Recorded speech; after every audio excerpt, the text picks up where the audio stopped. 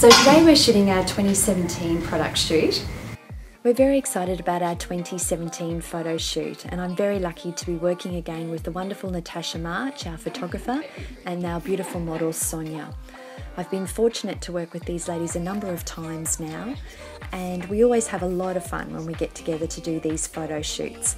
So that's what we thought we would show you in the video series today, a behind the scenes look at what goes on at one of these photo shoots. That's lovely.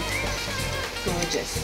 So we've got a little bit of a boho chic look happening today. Tassels and fringing are still really popular in fashion um, and we love a tassel so we've got plenty of new tassel necklaces. We're also introducing some new necklaces so there's a little bit of uh, Moroccan theme coming through in some of our designs. We've got our beautiful new Marrakesh necklace which has got um, tiny little glass beads and we've done it in a beautiful blue colourway.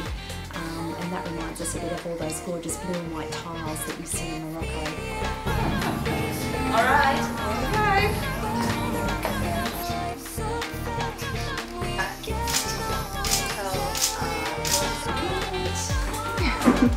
I've been really fortunate to work with Natasha, who's our photographer, and Sonia, who's our beautiful model, quite a few times before, and we always have a great time when we get together and do our photo shoots.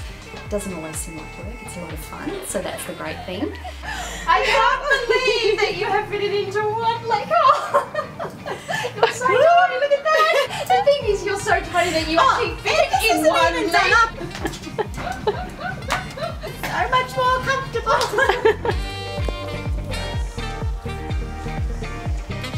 We always have, like to have a bit of fun when we get to our last look. It's always a bit of a relief when we get to our final look. And today we're going to have some fun with confetti. I'm going to throw confetti in there.